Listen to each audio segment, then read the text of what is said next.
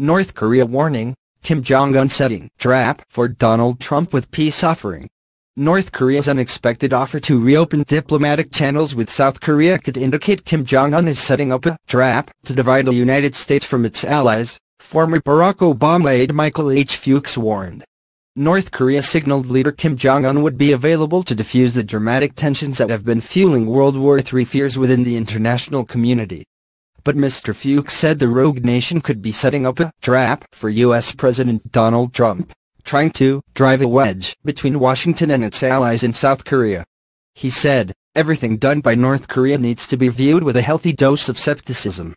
Unfortunately, I think President Trump is falling into the trap that Kim Jong-un is setting for him in trying to divide the two allies from one another. The only danger here, by the outreach from North Korea to South Korea which clearly is intended to drive a wedge between Seoul and Washington is that Seoul and Washington are not on the same page.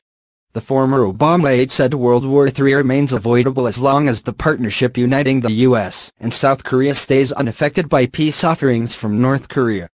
Kim Jong-un recently indicated North Korea would be sending its athletes to compete at the 2018 Winter Olympics in Pyeongchang and use the occasion to discuss diplomatic resolutions to the conflict dividing the two Koreas.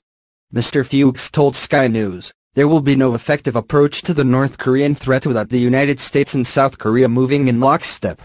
As long